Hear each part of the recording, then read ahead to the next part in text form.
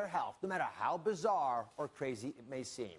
But some alternative therapies can put your health at serious risk. So today, I'm revealing which ones can help and which ones are just hype. The first extreme alternative therapy is for pain management. It's called cryogenic chamber therapy. Now, cryotherapy is the application of cold temperatures to all parts of our body. It's something we've used for a long time, right? Many of you may have tried this high-tech version, right? an ice pack. But imagine if you could grow it. Right over here is a cryo sauna.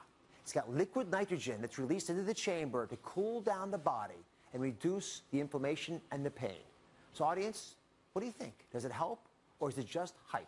Get out your answer. Oh, they are, they are split. They are split. All right. The answer, it helps. New expanded forms of cold therapy can be very helpful for folks who have debilitating pain and inflammation. And let me show you why. Here's an animation of what happens when you have pain and why cooling it makes a difference. So let's say you're exercising and you sprain your knee right? You've got aches and pains inside of that knee, and what ends up happening when you have a, a, eroded surface is the blood vessels over the painful limb begin to swell. And as those vessels swell a little bit, they'll release chemicals, and the tissue underneath next to it get influenced by these white blood cells that sneak across and release chemicals that cause inflammation, irritation, and almost a scratchy feeling. Now, that swelling can be addressed if you cool the joint. When you cool the joint, you shrink the blood vessels. And by shrinking the blood vessels, when they get smaller, it's harder for the white blood cells to escape. You have less swelling, therefore, the tissue around it, less chemicals released into the joint space, and less aches and pains overall. It also affects the nerves. Because when the nerves get cold, they stop sensing pain, and that influences, of course, the way your body will sense whatever's going on down there. So I'm going to try this out. Debbie is here to help. How are you, Debbie? Thank Hi. you very much for being with us. So now, I'm, I'm, told that you've actually tried cryogenic therapy before. Yes, I've done it four times. Four times? Yes. So I want you to get in, if you don't mind, the cryo sauna. And we're going to try this out. Debbie's agreed to do it for us on their stage for the first time. We're going to see if it makes sense. So it, the door's open like this, I guess.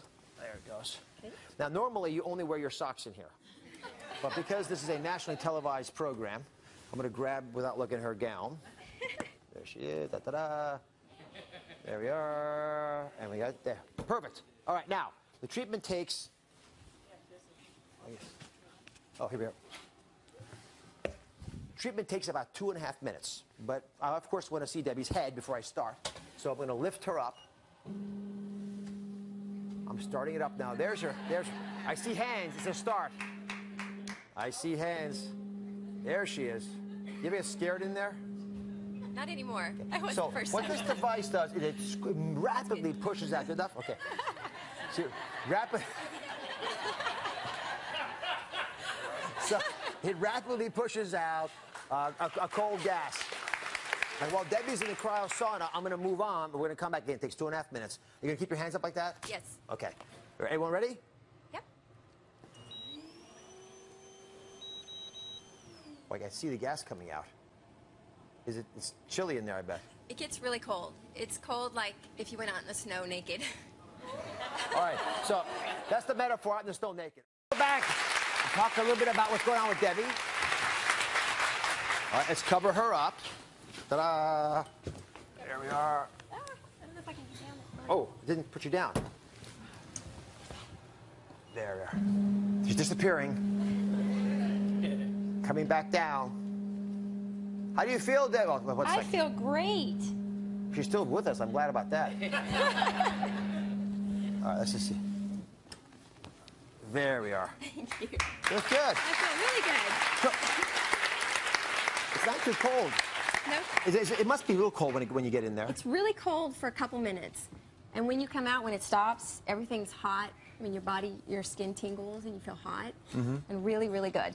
I feel energetic, and good. So what we like to do on the show is spread the word, right? When we hear about things that other people in other parts of the world use, we want to bring them here. So this is actually used in Europe quite frequently, and it's been used there for many years.